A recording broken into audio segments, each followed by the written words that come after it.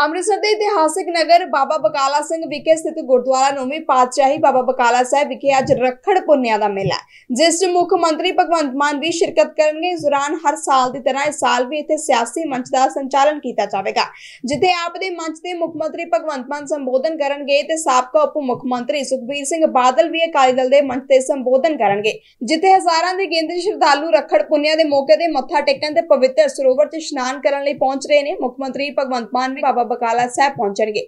ਜਿੱਥੇ ਉਹ ਪਹਿਲਾਂ ਗੁਰੂ ਘਰ ਵਿਖੇ ਮੱਥਾ ਟੇਕਣਗੇ ਤੇ ਫਿਰ ਆਪ ਵੱਲੋਂ ਸਜਾਈ ਗਈ ਸਟੇਜ ਤੇ ਆਪਣੇ ਵਿਚਾਰ ਪੇਸ਼ ਕਰਨਗੇ। ਨਾਲ ਹੀ ਸੁਖਬੀਰ ਸਿੰਘ ਬਾਦਲ ਦੇ ਵੀ ਉੱਥੇ ਪਹੁੰਚਣ ਦੀ ਗੱਲ ਕਹੀ ਜਾ ਰਹੀ ਹੈ। ਮੁੱਖ ਮੰਤਰੀ ਭਗਵੰਤ ਮਾਨ ਦੇ ਪ੍ਰੋਗਰਾਮ ਕਰਕੇ ਸ਼੍ਰੀ ਬਾਬਾ ਬਕਾਲਾ ਸਾਹਿਬ ਨੂੰ ਨੋ ਵਹੀਕਲ ਜ਼ੋਨ ਬਣਾ ਦਿੱਤਾ ਗਿਆ।